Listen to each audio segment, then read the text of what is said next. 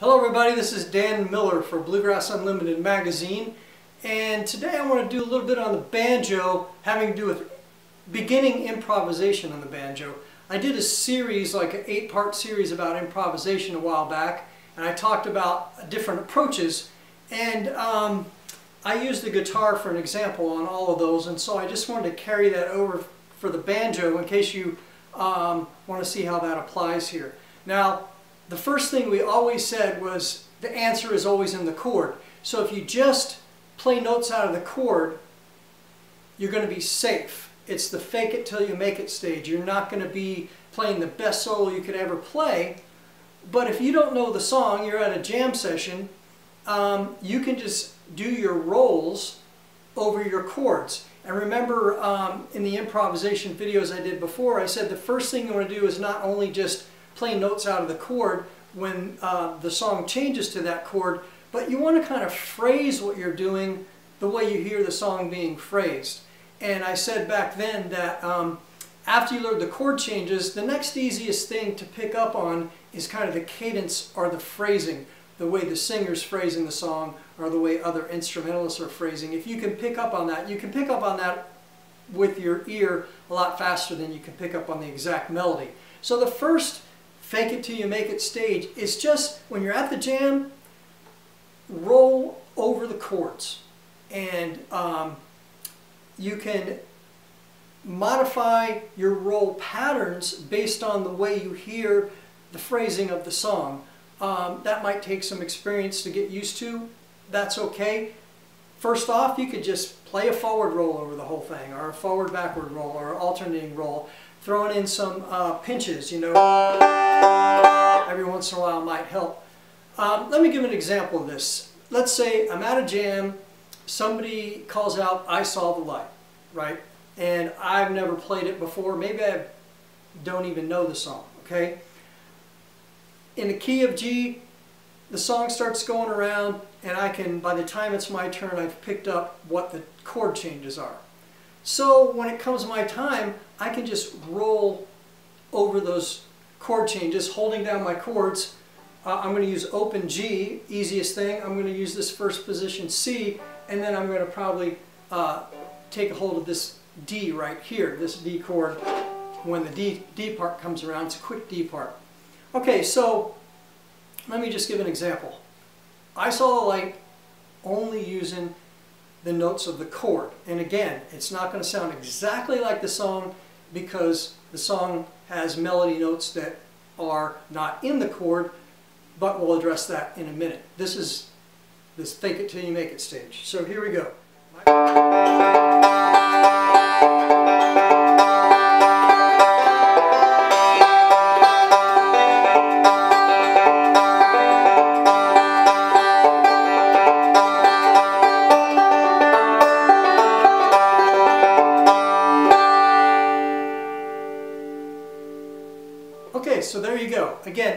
Greatest solo you could ever take, but it'll get you by in the situation until you learn the song better. Just rolling over the chords, changing your various patterns. I'm not going to tab that out because I just randomly kind of heard the song in my head and played rolls that kind of fit what the cadence was I was hearing in my head. So practice that. You can come up with your own way to do that, rolling over the chords. And now let's look at the next step. Okay, as we talked about in the improvisation uh, video series, the next thing you might want to look at is your major pentatonic scale. The next thing after your three notes of the chord, you're going to play the major pentatonic, and as we discussed in those videos, play the major pentatonic of each chord related to that key. You're not changing keys because all of the notes of the major pentatonic scale in a 1-4-5 progression all the notes in the G major pentatonic, all the notes in the C major pentatonic, and all the notes in the D major pentatonic are still all in the G scale. So we're not leaving the key. We're just thinking about it in a different way, okay? Um, so the notes I'm going to add in uh, to the G chord um, are the E note, there, there, and the A note, okay? Um, the notes I'm going to add to C, um, is going to, are going to be a D note I can add and an A note. A is the sixth, D is the second. We're, those are the two notes we're adding to the three notes of the chord. And again, in G, it's the E note, which is the sixth, and the A note, which is the second. And then with D, we can add the E note, which is the second, and we can add the B note, which is the sixth, okay? Um, lots, lots of song melodies are just going to use those five notes. So we're going to be cl getting closer to the melody if we use those notes. Um, a lot of Earl Scruggs banjo licks come out of those notes, um, with one exception, and then we'll move on to the next scale that we covered, which is the major blues. The major blues is going to take the major pentatonic scale and add one note, which is the flat third. Okay, so if, if I do this slide, uh, this uh, slide, typical, that's going to be going from an A, which is in the major pentatonic scale, to that B flat, which makes it a major blues. Now if I sometimes slide all the way up to B, and there you're still staying major pentatonic, you're not going outside of that. But if you add that B flat, which is a 2 to 3, then you're still good, but you're just changing your scale from major pentatonic to major blues to get that bluesy feel in there, which a lot of bluegrass tunes have in them. So if you, if you analyze a lot of your Earl Scruggs standard banjo licks, you'll see that the majority of them are going to come out of the major pentatonic and or major blues scales. And a lot of times we don't think about scales on the banjo until we get into like melodic style playing. But if you, if you um, learn how to play your G open chord and then add the E note there and the A note there, and if you learn how to play C and add a D note, add an A note, if you learn how to play add a D and you can add a B note or you can add an E note, um, you'll get more flavor to your music without overcomplicating it too much. And again, if you analyze a lot of your standard licks and rolls and the way they're applied on the five-string banjo and Scruggs style, you'll see that's what's going on. Anyway, so let me play I Saw the Light again, um, and this, this time I'll be closer to the melody because the melody is pretty much out of uh, the major pentatonic scale. I'll, I'll throw a 2-3 slide in there which will go into that major blues and uh, so you'll hear that. Um, but this is going to get pretty close to the melody because the melody is made up of these notes and I'm going to add them in when I hear they should be played. And so here we go with I Saw the Light.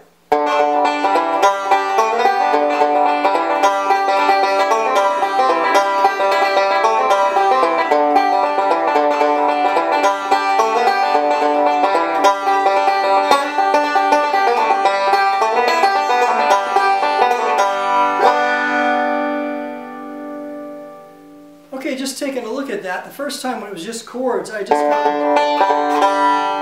played that, but this time...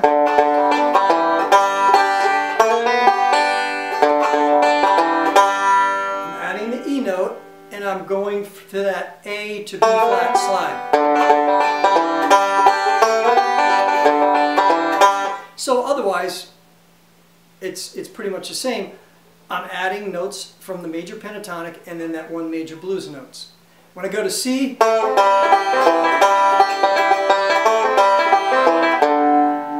adding that A note, which is a sixth scale degree of the C, and that's in the C major pentatonic, okay?